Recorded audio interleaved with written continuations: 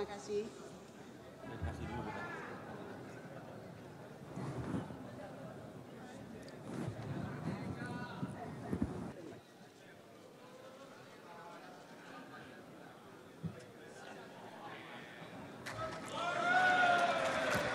Terima kasih kita sampaikan. Selanjutnya kita persilakan fraksi Partai Golkar.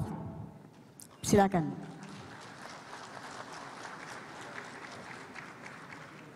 Assalamualaikum warahmatullahi wabarakatuh. Waalaikumsalam. Yang kami hormati Ibu dan Bapak pimpinan Majelis Permusuhan Rakyat. Izinkan sekarang kami menyampaikan Ketua Fraksi Partai Golkar untuk menyampaikan pandangan dan nama-nama calon pimpinan MPR.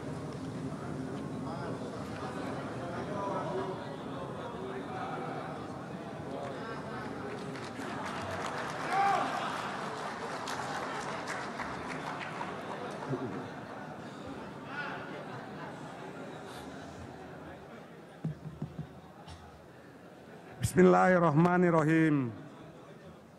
Assalamualaikum warahmatullahi wabarakatuh. Ketua pimpinan sementara yang kami hormati, para hadirin sekalian, anggota Majelis Permusyawaratan Rakyat yang kami muliakan. Sesuai dengan tata tertib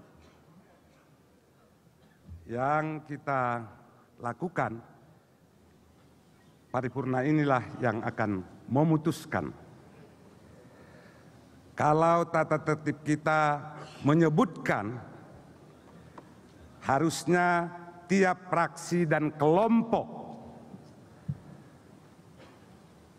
menyebutkan calonnya masing-masing, tapi tidak langsung paket tapi keputusannya langsung paket. Oleh karena itu, saudara-saudara, kami akan sampaikan paket.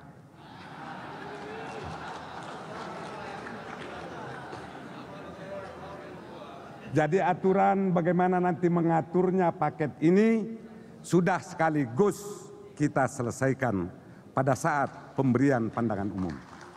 Fraksi Partai Golkar setuju untuk itu. Oleh karenanya, perkenankan kami menyampaikan paket paketnya nanti terserah namanya apa. Tapi paket yang kami ajukan dari fraksi Partai Golkar adalah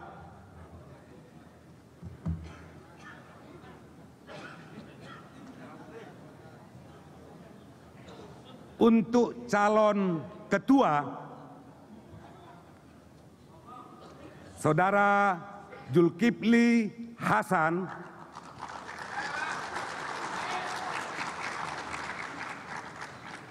dari fraksi Partai Amanat Nasional. Untuk calon wakil ketua dari fraksi kami yang membacakan ini. Fraksi Partai Golkar, Saudara Mahyudin. Saudara pimpinan untuk dicatat ini baik-baik. Jangan nanti jadi persoalan kita. Berikutnya untuk wakil ketua Saudara Mangindaan dari fraksi Partai Demokrat. Berikutnya untuk wakil ketua.